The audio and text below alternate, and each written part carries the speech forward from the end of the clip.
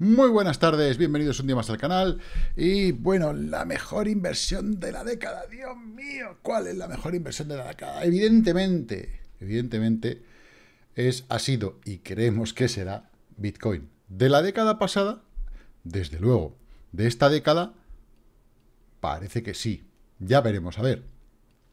Eh, no puede ser que hace dos días Bitcoin era la pera limonera y ahora es una castaña, se va a cero, dicen los chinos. ¿vale? Eh, esta es la historia de siempre. Mm, prohibimos la minería, ahora no la prohibimos. Ahora queremos criptomonedas, ahora no las queremos. Dependiendo de cómo quieran manejar el mercado y ahora que está cayendo es más fácil meter más miedo. Cuanto más miedo veamos en el mercado, eh, no hablo solamente de criptomonedas, hablo en general. Eh, más cerca de ese punto final estaremos. Evidentemente, todavía queda, ¿vale? Como os expliqué ayer, el tema de la inflación, aunque solamente sea por el tema inflacionista. Ese chicle que se estira o esa goma que estiramos hasta que las cosas empiezan, problemas, problemas, problemas, problemas, cuando empezamos a solucionarlos y empieza a encoger, eh, que es cuando el mercado empieza a subir, pero nosotros realmente, en el día a día, en, inclusive en las noticias, hasta que no está bastante más solucionado, no vemos. ¿Vale? Luego nos pasará, pues, joder, recordar la crisis de 2008, los que sois un poquito más así, ¿vale? Si nos llamas mucho más allá, para no explotar cerebros. Eh, la crisis de 2008, en 2010, 2011, ya estaba diciendo, ya, ya está, ya se ha arreglado la economía. Y, sin embargo, cuando hemos llegado a la COVID, no habíamos terminado con la de 2008, ni mucho menos, ni mucho menos, ni con los problemas que había generado. Entonces, todo lo que surja ahora va a generar muchos problemas, muchísimos. Unos que se ven y otros que no se ven. Ya veremos a ver cómo acaba la cosa. De momento, ¿Bitcoin es bueno o Bitcoin es una castañita? Eso lo va a decidir el tiempo. De momento, Bitcoin es tan castañita como muchas de las empresas y de índices que también se han ido al carajo. Para mí es exactamente lo mismo. Así que bueno, vamos a ver algo y analizamos de una forma rauda y veloz. Venga, comenzamos. Creo.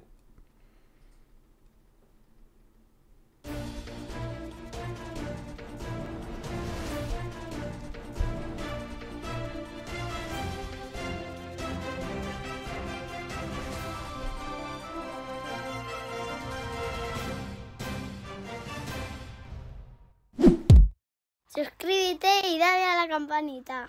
Únete a la mejor comunidad de criptomonedas. Pues eso, únete a la mejor comunidad de criptomonedas y para un momento, para un momento, y suscríbete al canal, que a ti te da igual, es gratis, es, de verdad, os lo prometo que no van a cubrir van a cobrar nada por darle a suscribirse. Bien, bueno, ¿por qué Bitcoin puede ser la mejor inversión de la, de la década? Decían aquí, 19 de diciembre del 19. Bitcoin es considerado por Bank of America, Bank of America, o sea, no es que lo dijesen, eh, no sé, cuatro iluminados que se habían juntado, Bank of America, ¿vale? 19 de diciembre del 19. La mejor inversión de la década convirtió un dólar en 90.000. Según un informe reciente de Bank of America Securities, eh, si invertiste un dólar en bitcoins al comienzo de la década, ahora valdría más de 90.000 dólares. Y eso sin hacer operaciones ni nada de nada, ¿eh?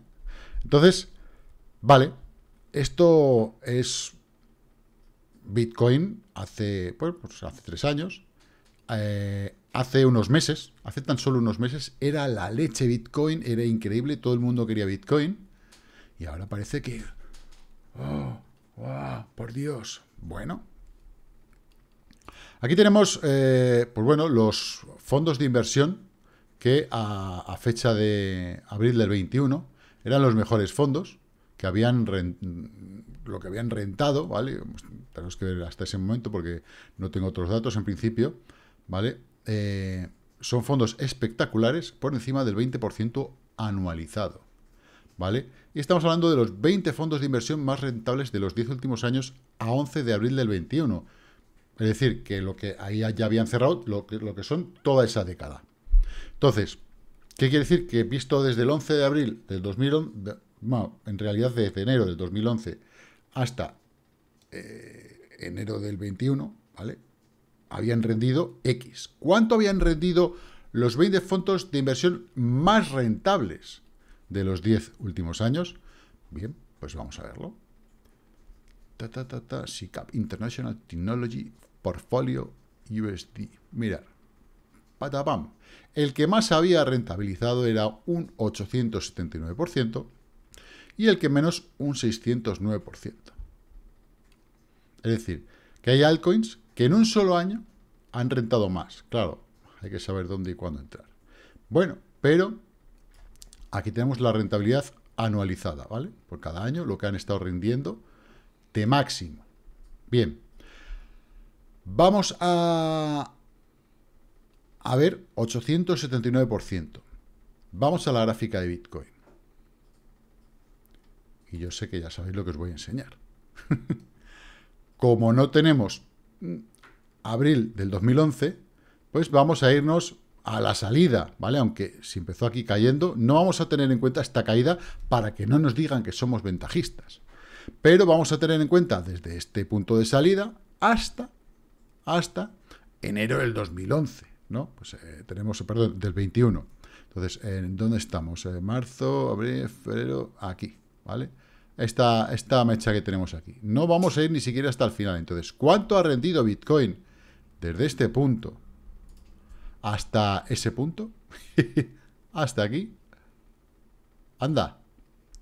Un 306.749,15%. 306.749%.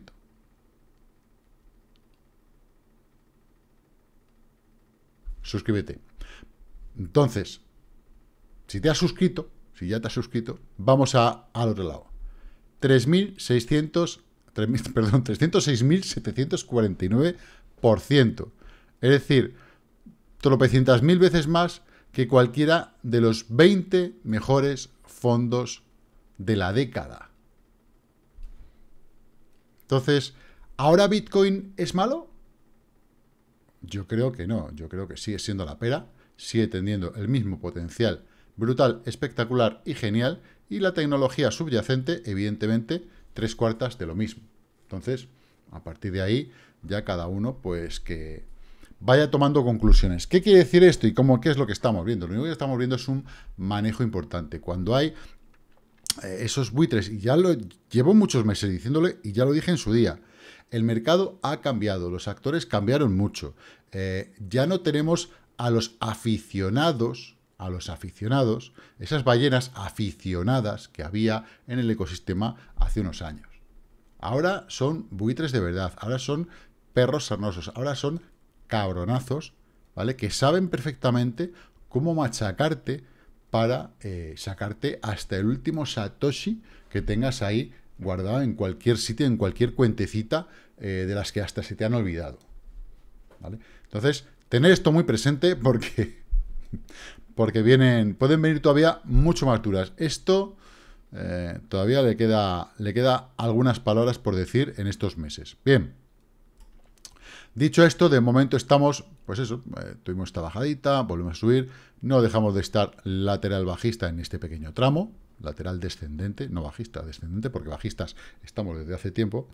Eh, y alguno dirá, no, no, bajistas no, Bitcoin, ¿vale? Que esto es, esto es como Bitcoin está alcista desde que salió, ¿vale? Está alcista en mensual, te lo compro, ¿vale? Pero en semana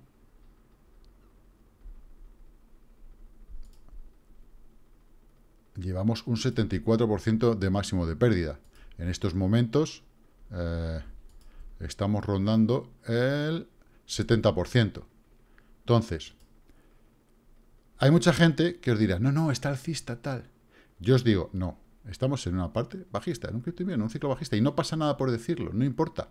Es, una, es la realidad, es la verdad. Mucha gente os querrá engañar con eso, no, estamos alcistas, tal, tal, no sé qué, para que hagas lo que ellos hacen y ellos sentirse a gusto y conforme y decir, wow, mira qué comunidad tengo que todos hacen la misma tontería que yo, que es comprar aquí y no vender aquí, comprar aquí y no vender aquí, y luego caer todo esto un 70% y que te den por culo. Y esa es la realidad. Yo ya sabéis que no soy muy amigo del hall a muy largo plazo y si hay una oportunidad de venta, vendo. Para eso tengo aquí a mi colega, ¿vale? Que me dice compra o vende, ¿vale? Esto es en semanal. Desde que dio en semanal la venta, ¿vale? Es desde que lo que yo puedo considerar que estamos en mercado bajista y de que, de que me dio esta compra en mercado alcista. Y si lo pongo en diario, ¿vale? Pues la cosa cambia. Ya nos dijo el compra, el vende, el vende, el compra, ¿vale? En cada una de las fases, que es que normalmente como, como se debe de utilizar. Ahora estamos todos a la espera de que nos dé el compra, ¿vale? Entonces, no sé, llámalo un micro hold o un trade a, un cierto plazo. Pero eso de no vender nunca hasta que la muerte nos separe, pues ¿qué quieres que yo diga? Yo no comulgo con eso. Y no comulgo con eso, ¿por qué? Pues podemos irnos a alguna altcoin, ¿vale? Contra el Bitcoin, que es donde ves el valor que puedan tener, ¿vale? Y aquí estamos en Kusama, cómo fue subiendo, y cómo ya ha empezado desde junio del 21 toda esta fase bajista, perdiendo. Podemos ir a Link, como igual, después de una super fase, ya lleva un montón de tiempo, desde agosto del 20, bajando. Y muchas de estas, ¿vale? Que eh, pues hicieron, y ya perros viejos, como, como pasamos a esta ya la tenemos que poner en semanal, ¿vale? Lisk, fijaros cómo cómo salió, cómo cayó, cómo intentó recuperar esa zona y cómo jamás ha vuelto a recuperar zonas anteriores. Y no las va a volver a recuperar, ¿eh? Y no las va a volver a recuperar. Estamos hablando de una cripto del año 16, ¿eh? Que no estamos hablando de una que nació antes de ayer. Las que nacieron antes de ayer, pues contra Bitcoin irán perdiendo. ¿Por qué? Por eso, si, si pensamos que Bitcoin se va a ir a 100.000, la comparativa de valor eh, no hay color. Y estas, y estas criptos versus Bitcoin van a perder. Siempre. Mirad Litecoin. Una super gran mega cripto. Es que, claro, se nota que tengo muchas líneas porque llevo mucho tiempo con ella, ¿no? O siguiéndola. Desde el 13. Estamos hablando del año 13. Fijaros. ¿Vale? Pegó esta subida del 17. 18, otro pico aquí en el 19 y desde entonces no ha hecho más que caer contra Bitcoin. ¿Por qué? Porque Bitcoin no ha hecho más que subir en ese medio largo plazo. ¿Vale? Eh, Mana Bitcoin, fijaros, una de las grandes ganadoras. Estos son excepciones. ¿Esto qué quiere decir? Que posiblemente Mana, dentro de este canal que está, ¿vale? Que está en una parte inferior y está empezando a crecer, eh, es una muy buena señal, cuidado, eh, es una de las ganadoras. Entonces, es esto en lo que nos tenemos que fijar, es lo que yo os quiero decir. Aquí hay chicha, aquí hay valor, ¿vale? Cuando Bitcoin suba a 100.000, no sé hasta qué punto la acompañará Mana, evidentemente. Está en, en 4.260 satoshis, pero ahí está. Bien, dicho esto, ¿qué pasa con la dominancia de Bitcoin? Pues que sigue cayendo. De momento esta línea la ha perdido. Vamos a ver cómo cierra el día y qué pasa en los siguientes días. Ya vimos que aquí se vino con la mecha hasta esta zona y ahora está, pues bueno, sigue eh, despacito, poquito a poquito, consolidando esa caída y está justo, ¿veis? En este punto de máximos que hizo aquí. ¿Vale? Pues bueno, vamos a ver si desde ahí decide, eh, si rebota o si decide mm, seguir cayendo. Creo que lo ideal es que siga cayendo, pero, bueno, ya veremos a ver cómo, cómo nos lo da. En cuanto al total market, bueno, pues eh, intenta recuperarse lo mismo que Bitcoin, pero no hay manera. O sea, mm, la, la, vela del día está que sí, que intento subir, intento subir y recuperar lo perdido de ayer. No puedo, no tengo fuerza, me falta alegría, me falta chicha. Y es lo que le está faltando ahora mismo a, a Bitcoin para poder hacer algo algo un poquito más decente, porque decíamos, si había muchos, muchos gráficos, ¿no? Con un hombrito, una cabeza, otro hombrito, a ver si lo hacía, si no lo hacía. Pero es que esto es exactamente lo mismo, exactamente igual que lo que había aquí. ¿Ves? Este hombrito con esta cabeza, con este hombrito. Y al final hizo y se quedó aquí lateralizando. Y yo pienso que es lo mismo que va a hacer aquí. ¿Durará más tiempo o menos tiempo? Yo creo que va a durar menos tiempo y que vamos a caer. ¿Vale? Eh, la primera vez de este que hicimos estos máximos en 69, caímos, hicimos ese hombrito, cabeza, hombrito, esa especie de movimiento, pero luego estuvimos lateralizando bastante tiempo, incluso una casi, casi salida ahí a tomar por saco. Luego volvimos a caer, hicimos esa misma figura, lateralizamos durante menos tiempo, y ahora hemos vuelto a caer, hacemos la misma figura, y yo creo que vamos a lateralizar en esta zona menos tiempo, porque Bitcoin, si se aburre y se está aburriendo, y nos está aburriendo a todos, ¿qué hace?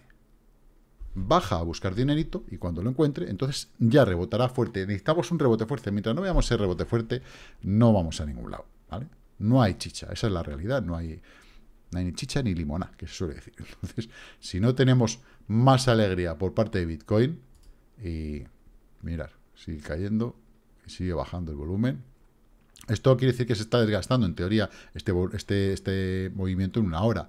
Vamos a ver si es capaz de rebotar. Mañana puede ser un buen día porque hay, hay finalización de contratos de opciones, de futuros.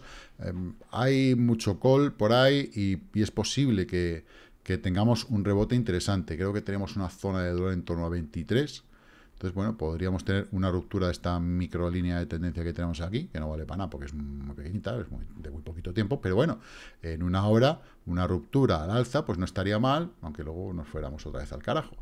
Así que bueno, muy atentos al día de mañana porque puede ser un, día bastante majete. en cuanto al... Aquí, ¿qué ha pasado? El oro está plano, se ha vuelto otra vez plano, aburrido, está esperando que pasen cosas en el mercado y en el mercado siguen sin pasar cosas. Los mercados están ahí. Fijaros que hoy eh, Apple sube, pero AMD baja. Amazon sube un poquitito, Alibaba sube un 4, BioNTech un 4,5. Entonces, hay algunas cosas como diciendo, bueno, vamos a ver si, nos si hacemos algo. Netflix pues sí, está planito, Nvidia y está a unos 60. Eh, bueno, pues, pero no hay chicha. Fijaros, Tesla, que el otro día estaban muy contentos y hoy pues lleva dos días ahí de recortes que no puede con la media de 50. Pues, ah, pues posiblemente puede hacer algo como hizo aquí. Pum, pum, subo y vuelvo a seguir cayendo. Para aquí hay un doble suelo. Si mañana se va bien el día, en general, ¿vale? Porque vencen no solamente opciones y, futuro de Bitcoin, sino de todos. Y hay muchísimo dinero. Este, el de, el de mañana es gordo. Entonces, bueno, vamos a ver si, a ver si suerte. Y la cosa va a más. Bueno, eh, Lead, que estaba por ahí, además he estado hoy comentándolo con un alumno en una, clase one-to-one, eh, pues aquí está, haciendo su canalillo, em, está bastante majete y, bueno, pues de, momento lo que nos dice es que hemos pasado la media de 50, perdón, de 100, paso arriba, llego a la parte superior de ese canalito y me vuelvo a en la media de 100. Bien, movimiento fantástico. Si mañana es capaz de seguir subiendo y romper esta línea, se nos irá a la zona de 200. Evidentemente, desde ahí hasta 200 eh, tenemos un 44%. Está bastante, bastante bien. Evidentemente será menos, pero por otro lado, ¿dónde nos tenemos que fijar? Pues aquí en nuestro amigo RSI. ¿Vale? RSI 21 tengo configurado yo, sobre todo en largo tiempo. Si voy a irme de una hora para abajo y demás, si lo pongo en 14. Eh, si no, no. Entonces, esto, ¿vale? Puede que llegue aquí y vuelva a rebotar o que tengamos que marcar una línea acelerada desde este mínimo hasta este otro mínimo, ¿vale? Que muchas veces pasa, cuando va a seguir subiendo, se acelera ese movimiento, pues eh, la línea que, a la que hace caso normalmente es esta, tiene un pequeño retroceso y vuelve a subir, ¿vale? Eso pasa bastante. Em, pero bueno, vamos a ver cómo se comporta y qué hace mañana. De momento está, está muy, muy curioso, muy interesante cómo se está comportando bastante, bastante bien. el resto de altcoins, pues ha habido unos comportamientos bastante majetes. Tenemos algunas en algunas pérdidas. Melos, aquí, Melos, ¿cómo? Está haciendo un intento, una zona de suelo, está intentando ahí, ahí terminar de, solar esa zona y bueno pues a ver si a ver si lo logra hay bastante volumen eso es muy bueno porque em, fijaros que a lo largo de, la vida que lleva, que es una vida corta, ¿vale? el volumen se ha estado manteniendo en, unos rangos bastante amplios, pero buenos entre el mínimo y el máximo. No hay estas reducciones de volumen que a veces se ve en una castaña, que a lo mejor estamos leyendo y el volumen es una castañita, pero ya no es tan, no es tan bajo para el, para el supply que tiene. ¿vale? Entonces, bueno, está, está, está bien, está interesante. KLV, que bueno, eh, los rebotes que daba el otro día, dijimos que tenía que subir y hacer otro suelo. Voy a quitar este dibujo porque parece que, se ha colado aquí mi, nieta. y es que, claro, yo no sé dibujar, ya lo sabéis. Eh, Cartesi, bueno, esto es Kratos, esto es Kratos, perdón. Eh, sigue cayendo, o sea, esto es como... Mm, adiós, hasta luego. Eh, ANKR, Hydra, bueno, pues tenemos aquí unas pocas, .bnb contra el BNB, está ahí perdiendo un poquito, AVE contra el Ethereum, y bueno, PERP, eh, aquí las pérdidas son muy pequeñitas, vamos al lado positivo, que creo que está bastante bien, Storg, Storg haciendo de las suyas muy, muy, muy bien, muy atentos porque en esta zona puede hacer una bandera, y, irá por la de 200, pero bueno, la, la distancia que tenemos entre la 100 y la de 200 es un 28%, o sea que vienen trades muy interesantes con las altcoins, o sea que estaros atentos. Bell, que ha hecho una, una, muy buena también, ¿vale? El día de hoy ha hecho una fantástica, vamos a ver si es capaz de pasarla. Eh, IOTX 1436, EMA 20. ¿Recordáis que ayer estuvimos viendo cómo teníamos este, este patrón, un doble suelo, vuelta, EMA 20? Vamos a ver si son capaces de cruzarla y pegar un pepinazo. Yo creo que muchas van a pegarlo. ¿Vale? Atom, tres cuartas de lo mismo, ¿veis? Papam, EMA 20, a ver si es capaz de ir. Solamente de la entre donde está y la 50, ¿vale? Tenemos un 25%. O sea, hay un trade ahí súper interesante. Se ve muy pequeñito, pero no, no, es, un, es una barbaridad. Rune, un 9.38 igual.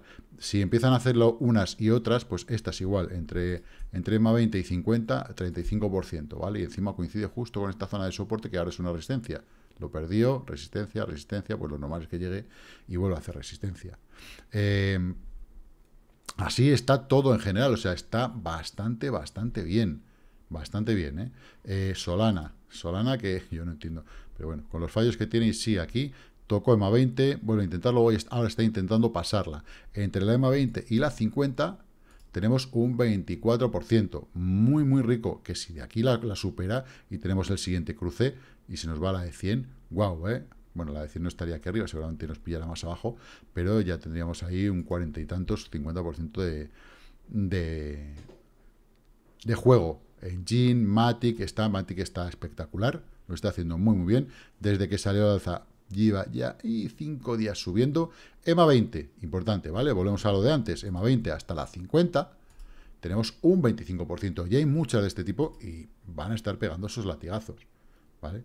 Entonces, bueno, es lo que tiene este mercado. Cuando ha caído tanto, se recuperan 20, un 30% de una forma muy facilona, muy facilona, pero cuidado, porque luego también se me a tener unos ostiones también de una forma bastante fácil. Una compound, tengo por ahí compound en pérdidas. Pero tres cuartas de lo mismo, veis que el dibujo es exactamente igual. Llega hacia suelo, empieza a rebotar. Cinco días subiendo, EMA 20, igual. Desde la EMA 20, ¿cuánto hay a la EMA 50? Pues tenemos un 35%. Muy bueno, muy buen porcentaje, ¿vale? Entonces, así están prácticamente todas estas que están aquí rondando. Veremos que unas se irán adelantando, otras irán detrás. El BNB se ha lanzado a los 223, muy, muy bien. Eh, puede que tenga una subidita a esta zona, ¿veis que se apoyó aquí? Pues puede ser que venga aquí a la zona de 250 y hasta ahí nos, nos pueda llevar. Una vez que llegue ahí, ya veremos a ver qué hace y dependiendo del resto del mercado también, ¿vale? Eh, podemos tener unos días buenos, ¿por qué no? Eh, estaría bastante bien y si se nos va a la media de 50, desde donde estamos a la 20 es un 7,62 y a la 50 estamos hablando igual de un 27,95%, cosa que está muy, muy, muy bien. Poco más que decir, el mercado está como está, está Bitcoin intentando aburrir a las moscas, a ver si nos sacan esos satosis que tenemos por ahí colgando, y bueno, pues eh, creo que mañana sí puede hacer algo. A pesar de que Powell hoy creo que no ha dicho absolutamente nada, tampoco, yo creo que lo importante ya lo dijo ayer, hoy poco más había que añadir. Eh, solamente cantar un poquito de la mea culpa y decir, bueno, pues que si luego me despiden una vez que pase todo esto, porque rodarán cabezas, van a empezar a cortárselas a todos. Eh, bueno, yo me considero honesto, tal, aunque no haya hecho mi trabajo de la forma correcta. Bueno, ni siquiera han hecho su trabajo, lo único que han hecho ha sido poner el cazo. Así que bueno, poco más que decir, no me quiero enrollar, porque si luego me dices que los vídeos son muy largos y tenéis toda la razón del mundo, como digo, siempre invertir con mucha cautela y que la paciencia os acompañe. Chao, chao.